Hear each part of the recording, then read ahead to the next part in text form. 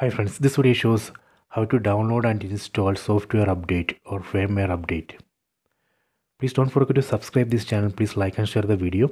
Go to settings, select the settings icon. Set device preferences. Go to about.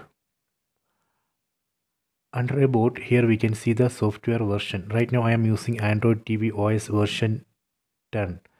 I am going to update this go to system update. Select this. Now it's checking for update. Please wait. Okay done. It shows new update available. Version of this new update is android tv os version 12.1.1 size of the update is 762 mb on right side you can see one download button.